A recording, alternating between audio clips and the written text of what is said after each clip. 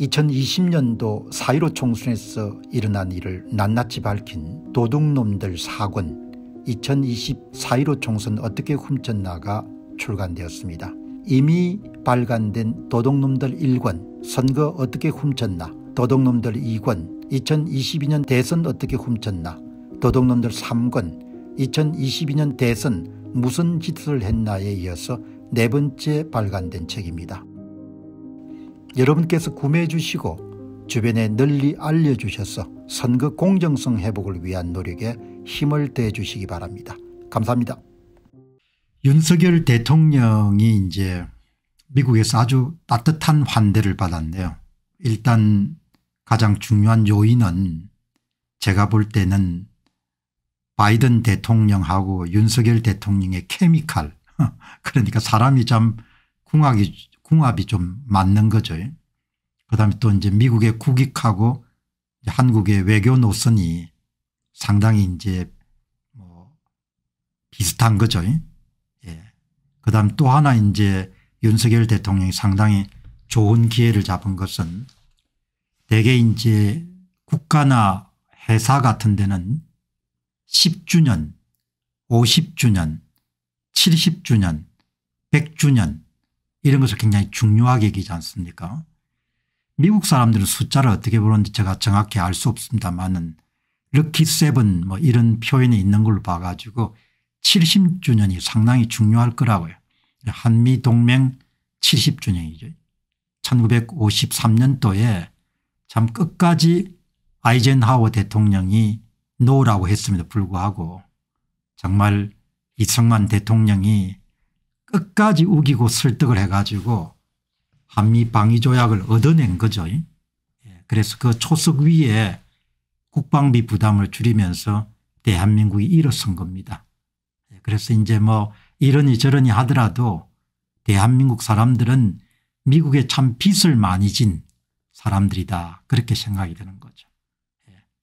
한국의 개신교가 전파되는 과정에서도 뭐 거의 압도적으로 미국의 젊은 선교사들이 혁혁한 공을 세웠지 않습니까 그리고 뭐 미국의 저 작은 시골 마을에까지 그렇게 한국을 위해서 많은 헌금들이 답지했고 그 이후에 이제 지금은 중국 시장이 중요합니다마는 뭐 1960년대 70년대만 하더라도 미국의 그 넓은 시장이 제공됐기 때문에 한국이 일어서는데 크게 도움이 됐죠.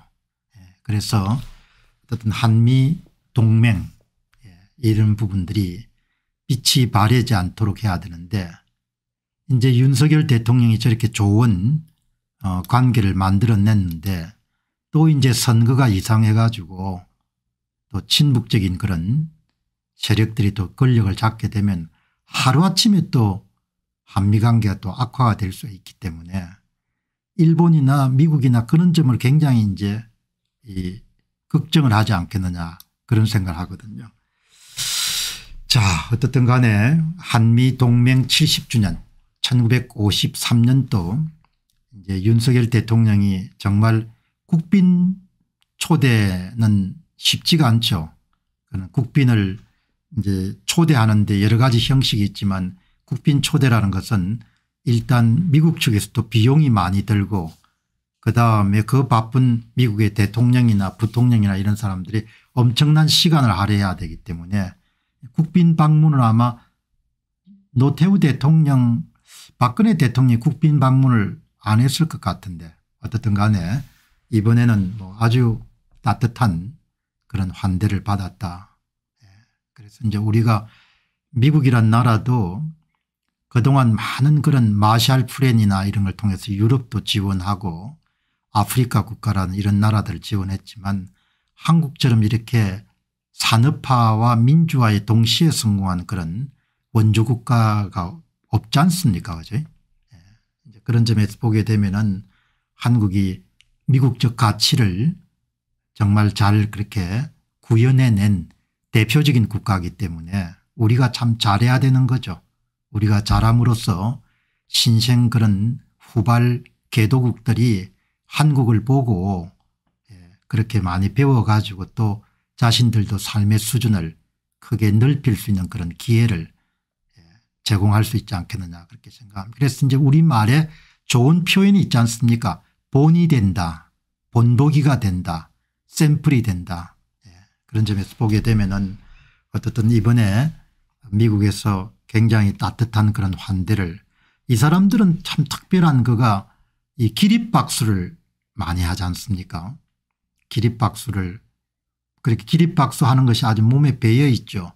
학회 같은 데 가서도 어떤 그 모임에 크게 기여한 사람들에 대해서는 기립박수를 하지 않습니까 그러니까 영어 표현에 치어라고 하죠. 예, 이렇게 칭찬하거나 격려하는 데 굉장히 익숙한 그런 거죠. 예. 여기 이제 부통령이 앉아 있고 그 옆에 이제 아마 하원 의원 이분이 메카십니까 어떻든 간에 하원 의장이죠. 공화당. 예. 아무튼 그 윤석열 대통령이 그런 외교가 빛이 바래지 않게 해서는 우리가 내부에서 어떻든 선거가 국민들이 원하는 그런 정치 세력을 계속해서 뽑을 수 있어야 이런 한미관계라든지 이런 또 한일관계라는 이런 것이 계속해서 어, 위태롭지 않지 않겠느냐 그런 생각을 했으면 좋겠습니다. 윤석열 대통령도 그런 생각을 좀 했으면 좋겠습니다. 본인에 있는 외교적 치적 같은 것이 갑자기 강탈되지 않기 위해서는 우리 내부에서 권력자를 뽑는 과정이 좀 더 투명하고 좀 더 정직하고 좀 더 공정해야 이런 것이 계속 유지가 될 수 있다. 이렇게 볼 수가 있을 것 같습니다. 어쨌든 오늘 뭐 모든 신문들은 또 BBC 뉴스도 좀 비중 있게 다뤘고 Wall Street Journal도 어, 탑 뉴스는 아니지만 왼쪽에 두 번째 라인에 다룰 정도로 굉장히 이렇게 그 의미 있게 이렇게 다뤘습니다. 예, 어떻든 간에 이번에 어, 미국의 그런 의회에서 상하원 그런 합동 그런 연설이었죠. 예. 미국 사람들은 freedom이라는 용어를 참 좋아합니다. 자유. 그 defend freedom 자유를 그냥 방어하자 이런 표현을 참 좋아하는데 이번에 speech writer 하시는 분들이 잘 썼네요. 자유의 동맹 행동하는 동맹 예. 자유라는 것이 참 지켜야 될 소중하고 귀한 거죠. 그죠? 표현의 자유 결사의 자유 그다음에 지도자를 선택할 수 있는 자유 생각할 수 있는 자유 예. 자유가 참 중요하지 않습니까 예. 아무튼 그 미국적 가치에 뭐 요즘도 미국도 많이 이렇게 어려운 부분들이 있지만 사회적으로 내부적으로 그러나 미국적 가치의 가장 핵심은 자유가 아니겠느냐 그런 생각을 하고 또 자유에는 또 동전의 양면처럼 앞에 자유가 있으면 뒤에는 책임이 따르지 않습니까 예. 제가 세상에서 가장 좋아하는 표현은 책임 책임 책임감 예. 책임을 지자야 예. 책임을 지려고 하는 데서 분발심도 나오고 열심도 나오고 성실함도 나오고 다 거기서 나오는 거죠. 책임을 지려고 해야 되는 거죠. 저하고 생각이 다른 사람들하고 아주 여러 가지 차이가 있겠지만 그 가운데 빼놓을 수 없는 것이 책임감 책임감 말에 대한 책임감 자기 행동에 대한 책임감 가족에 대한 책임감 자기 조직에 대한 책임감 책임감이 아주 중요하죠. 예. 어쨌든 간에 이번에 이제 아주 민감한 것은 뭐 또 주변에 중국이란 나라가 있기 때문에 그 중국이 가장 민감하게 받아들인 것은 대만 문제지 않습니까 예. 대만 문제인데 여기서도 전제 조건을 깔면 될 것 같아요. 우리는 분명히 하나의 중국이란 원칙에 동의하지만 예, 대만에 대한 무력을 이용한 그런 지위 변경은 우리가 받아들일 수 없다. 이게 이제 대한민국이란 나라가 보편적 가치 그리고 우리가 침략을 당해 가지고 자유를 가까스로 지켰기 때문에 최소한 국제사회에 대해서 차려야 될 그런 의무나 그리고 자유중국 대만인들에 대해서 차려야 될 의무라는 것은 우리가 하나의 중국이라는 원칙에는 동의하지만 대만 문제에 대해서 무력을 이용한 그런 현상의 변경은 반대한다. 그런 이야기를 하고 그것이 따르는 불이익이 있으면 기꺼이 받아들일 정도로 그렇게 나라가 돼야겠죠. 예. 그런 면에서 보게 되면은 예. 그리고 이제 특히 이제 한국은 대부분의 원자재 같은 것이 예, 말라카 인도양 그리고 인도양과 태평양을 가로지르는 말라카 해협을 통해 가지고 남중국해를 통해서 우리가 LNG라든지 원유가 대부분 도착하지 않습니까 그렇기 때문에 남중국해의 자유항해의 원칙이 지켜지는 것은 대단히 중요한 거죠. 예, 그런 점에서 보게 되면 이번에 윤 대통령이 좀 어려운 고민을 했겠습니다마는 불법적 해상 영유권 주장 매립지역 군사화 및 강압적 행위 포함 인도 태평양에서 어떤 일방적 현상 변경 시도에도 강력히 반대한다. 이게 이제 일방적 현상 변경 시도 영어 표현은 어떻게 될지 모르겠지만 이게 이제 서방 선진국들이 중국의 부당한 행위를 지적할 때 대부분 많이 사용하는 그런 표현인 거죠. 뭐 중국은 또 이를 반박했지만 어떻든 대통령이 이렇게 중심을 딱 잡아줘야 되는 거죠. 예. 그리고 거기에 따르는 뭐 불편함이라든지 비용 치룰 게 있으면 좀 치르는 것이고 굴종적인 자세를 중국에게 보여서 안 된다는 것이죠. 예.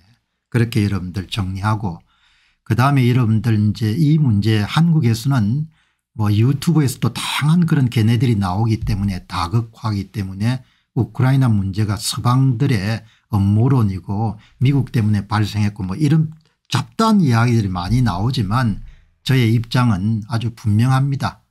뭐 어떤 이유를 대든지 간에 신나치가 어떻고 뭐가 어떻고 하더라도 독립자주국에 대한 무력 침략이란 것은 있을 수가 없는 거죠.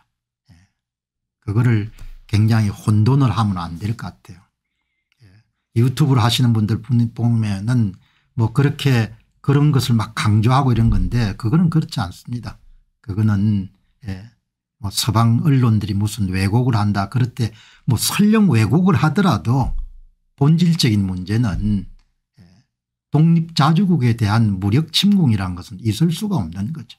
그런 문제를 참 제가 보면은 요즘에는 정보가 이렇게 유통되는 속도가 빠르고 모든 종류의 주장을 펼칠 수 있기 때문에 제가 이제 공병호 tv를 놓지 않고 꾸준하게 이렇게 계속 해야겠다고 생각하는 것도 너무나 소음들이 많으니까 인류 역사가 보편적 가치를 계속해서 강화하고 신장하는 확대하는 방향으로 나아가는데 어느 것이 옳은 일이냐 이렇게 하면 은 우크라이나 침공은 안 되는 거죠. 대만을 무력으로 여러분들 제압하는 것은 그거는 있을 수가 없는 거죠. 그거는 부메랑이 되어 우리 문제로 돌아올 수 있는 겁니다. 이번에 윤석열 대통령이 미국에서 발신한 메시지 가운데 분명하게 이런 이야기를 합니다. 러시아의 침략 전쟁을 규탄한다. 우리는 이런 이야기를 해야 돼요. 왜 우리가 침략을 당해 가지고 유엔에 여러분들 협력을 얻어서 목숨을 부지했기 때문에 자국 주권과 영토 보전을 수호하는 우크라이나의 국제사회와 함께 연대하겠다. 무고한 인명피해를 야기하는 무력 사용은 어떠한 경우에도 정당화될 수 없다. 이렇게 이야기를 분명히 국제사회에 우리는 보편적 가치를 강화하고 신장하고 확대하는 그런 움직임에 적극적으로 참여하겠다. 아마 이런 중의 주장에 대해서 대한민국의 많은 양식 있는 시민들은 다 찬성을 할 겁니다. 이 부분에 대해서 오늘 여론조사나 설문조사 같은 걸 안 해봤지만 예. 그래서 어떻든 항상 이렇게 무임승참하는 것이 아니고 우리가 받은 것 이상으로 우리가 되돌려 줄 수 있는 그런 책임 있는 국가가 돼야 되지 않겠느냐 그렇게 생각합니다. 어떻든 뭐 내부적으로 그렇게 녹록지 않은 상황이지만 한미동맹 70주년을 맞아 가지고 와싱턴에서 따뜻한 환대를 받고 그다음에 가치 외교를 한 번 더 천명한 윤석열 대통령의 공에 대한 부분들은 우리가 후하게 받아들여야겠다 이렇게 생각합니다. 대한민국 공직선거의 문제점을 파헤친 첫 번째 책을 펴냈습니다. 제목은 도둑놈들 1권 선거 어떻게 훔쳤나 2017년 대통령 선거로부터 2022년 대선과 지방선거까지 전산 조작을 이용해서 후보별 득표수를 어떻게 조작했는가를 낱낱이 분석한 책입니다. 선거를 바로 세우고 나라를 바로 세우는 일에 여러분께서 힘을 더해 주시기 바랍니다.